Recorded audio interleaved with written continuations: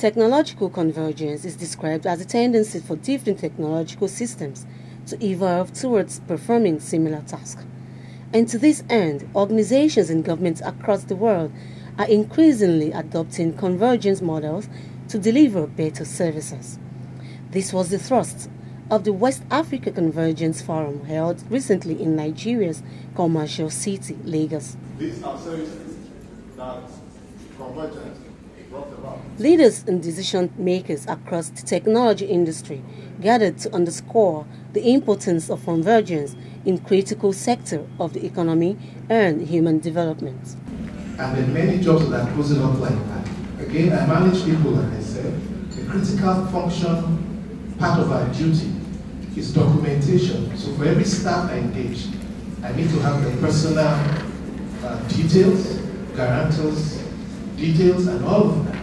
And I noticed by the time my staffing was becoming about three to 4,000, I needed a big room to store the data, the facts. And I imagined what would happen when my staff numbers double and triple. Then I need a whole building for storage. So it dawned on me again to explore technology and convergence. And what happens currently is, once you apply for a job through us. Speaking on the theme, convergence and the New Deals, entrepreneurship and employability. The Chairman House Committee on ICT, Muhammad Anawu, says there is need to encourage the growth of technology, a new level of thinking within the confines of a knowledge-based economy.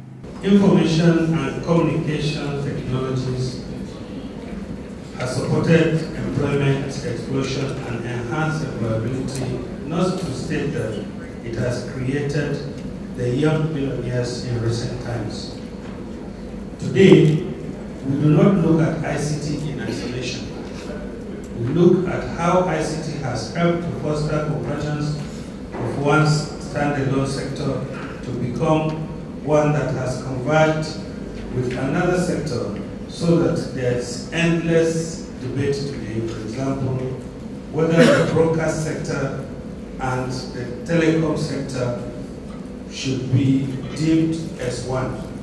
Mr. Olusoji Owawoye says that employment should focus on mere roles to be performed instead of traditional terms of employment with work hours tied to fixed office location. He urged Nigerians to intensify more effort to keep up the changes in the ICT world as well as continuous self-development. So part of what is happening increasingly, and employers must take notice, the employee of today are getting younger. You're having also more of the female folk who are climbing the labor ladder. So they do not have time for the why are you late? Where have you been to? And all of that nonsense. Then what motivates them is you just tell them what you want achieved and they'll deliver without the loyalty that the current work, work employers demand. So what I'm trying to get us to understand is that loyalty, all those policy issues, handbook and all of that, we need to begin to rethink them. Speaking on employers' perspective, he encouraged the employment of online professions and flexibility in workplaces as he found it to be a factor in increasing productivity amongst workers.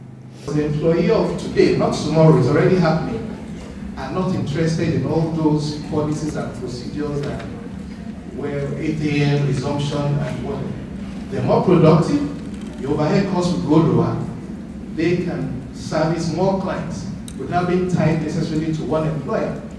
West African Convergence Conference seeks to drive divergent services and regulatory approaches to addressing convergence trends it is a platform to identify unique need areas for investment, collaboration, and other interventions.